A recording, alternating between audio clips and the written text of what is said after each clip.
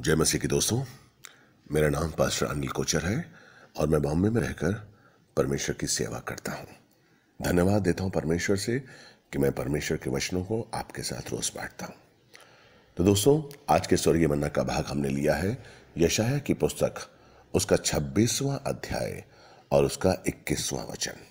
वचन कहता है, क्योंकि देखो, यहोवा अपने स्थान से पृथ्वी के निवासियों को उनके अधर्म का दंड देने के लिए चला आ रहा है। तब पृथ्वी अपने ऊपर बहाए गए लहू को प्रकट करेगी और घात किए हुओं को छिपाना रखेगी। धन्यवाद पिता परमेश्वर। तेरे हर वचन में शिक्षा है और सत्यता है, ज्ञान है। दोस्तों, ये वचन हमें क्या बता रहा है? ये वचन हमें अंतिम समय के बारे में बता रहा है। अंतिम समय को हम कैसे जाने दोस्तों? अंतिम समय को जानने के लिए हमें बाइबल को जानना बहुत ज़रूरी है। दोस्तों, परमेश्वर ने इस पूरी पृथ्वी को, इस पूरी पृथ्वी को, सृष्टि को सात दिन में बनाया, यानी कि छह दिन में उसने पृथ्वी की रचना की और सातवें दिन उसने विश्राम किया। यानी कि हर समय सुनिश्चित है। हर समय जो भी बनाया गया है, वो सुनिश्चित है और हर समय परमेश्वर की ओर से प्रकट है। हाले बाइबल कहती है कि पृथ्वी का हज़ार वर्ष स्वर्ग का एक दिन होता है। हालेलुया। इसका मतलब परमेश्वर ने जो सृष्टि बनाई है, वो छह दिन में बनाई है, सातवें दिन विश्राम किया है। इसके लिए इसका मतलब पृथ्वी को परमेश्वर ने सात हज़ार वर्ष दिए हैं। देखिए दोस्तों, परमेश्वर का हर काम पूर्ण निश्चय और सिद्धता के साथ होता है। परमेश्वर ने सृष्टि समय पर बनाई, उसको देखा, उसे अच्छा लगा यीशु मसीह का आना निश्चित था, यीशु मसीह का जाना निश्चित था और यीशु मसीह का दोबारा आना भी निश्चित है।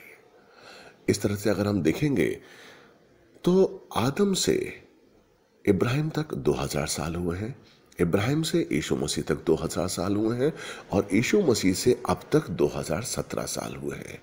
इसका मतलब अब तक जब से पृथ्वी बनी है 6017 साल हो चुके हैं। हालेलुया। इसलिए दोस्तों, न्याय का दिन बहुत निकट है। इस समय ये वक्त जो चल रहा है, ये अनुग्रह का वक्त है। ये परमेश्वर की कृपा का वक्त है, उसके सब्र का वक्त है, क्योंकि वो सब्र किए हुए स्वर्ग में बैठा हुआ इंतज़ार कर रहा है कि मेरे बच्चे जिनको मैंने चुना है, वो अभी भी जाने, वो अभी भी पश्चाताप करें और परमेश्वर के सामने आए, परमेश्वर के करीब आए, परमेश्वर के सामने नतमस्तक हों और उसको अपने आप को दे दें। हाल ये वक्त है।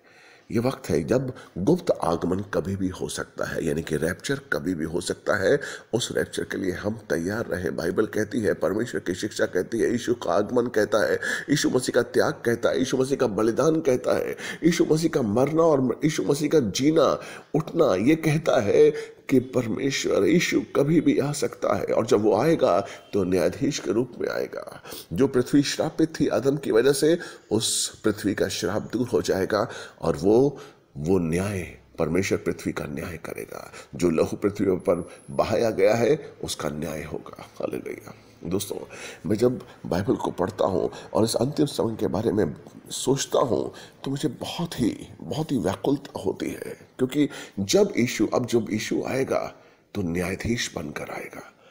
हमारे सामने अब तक ईशु का रूप क्या है? एक न्याय के बारे में। वो अभी भी परमेश्वर के पास बैठा हुआ परमेश्वर के दाहिनी ओर बैठा हुआ मध्यस्थी कर रहा है हमारे लिए हमारे लिए प्रार्थना कर रहा है कि हमारे बच्चों को परमेश्वर बचाए। हमारे लिए प्रार्थना कर रहा है कि हम किसी संकट में ना आए, हम किसी आजमाइशों में ना आए और हम परमेश्वर के योग के बच जाए।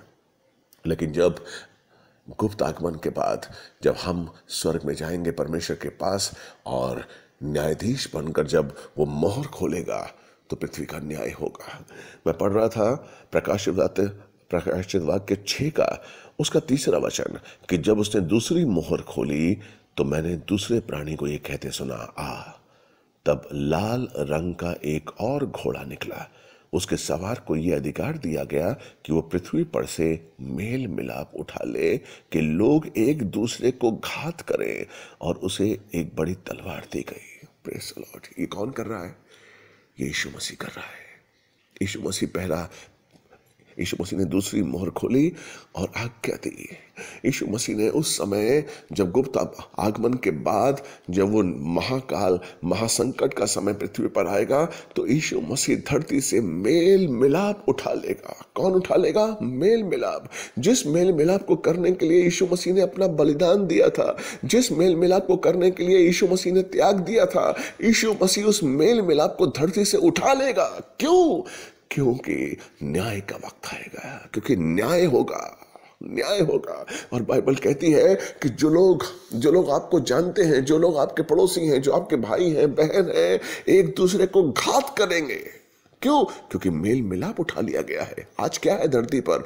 मेल मिलाप। दोस्तों अगर आज आप आ, आज आपका पड़ोसी आता है आज आपकी बहन आती है आज आपका कोई राहगीर आपका कोई अजनबी आपकी सेवा करता है आपकी सहायता करता है तो ये समझ लीजिए ये जान लीजिए कि वो यीशु मसीह है उसके अंदर। वो यीशु मसीह है जो आपकी सेवा कर रहा है। वो यीशु मसीह है जो उसके द्वारा आपके संग मेल मिलाप कर रहा है। क्योंकि यीशु मसीह ने हमें मेल मिलाप की सेविकाई दी है। क्योंकि परमेश्वर ने यीशु मसीह के द्वारा हमें मेल मिलाप की सेविकाई दी है। हाल हालेलुया इसलिए हमें उस मेल मिलाप के अनुसार चलना है। लेकिन हमें उस मेल मिलाप के साथ चलते हुए परमेश्वर की आज्ञाओं को नहीं भूलना है, परमेश्वर के प्यार को नहीं भूलना है, परमेश्वर की कृपा को नहीं भूलना है। इसलिए रैप्चर का समय, गुप्त आगमन का समय बहुत ही निकट है और उस उस समय के लिए हमें अपने आप को तैयार करना है कि हम इस गुप्त आगमन में जाएँ। नहीं तो नहीं तो न्याय के दिन, संकट के समय, महासंकट के समय सर्वनाश होगा।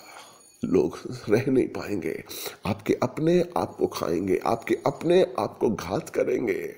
दया करिए पर, परमेश्वर की दया जो इस समय हमारे साथ है, हम उसको बना के रखें। तो दोस्तों, इस अंतिम समय में हम याद करें कि परमेश्वर की उपस्थिति, परमेश्वर का आगमन, परमेश्वर की की जो आज्ञा है, परमेश्वर की जो कृपा है, परमेश्वर का जो अनुग्रह है, हम उस उसकी कीमत को समझे और उस अनुग्रह को जाने ना दे और अपने आप को परमेश्वर के योग्य बना के रखें। आइए हम सब प्रार्थना करते हैं। हे पिता परमेश्वर, धन्यवाद देते हैं तेरे पवित्र समर्थी नाम के लिए।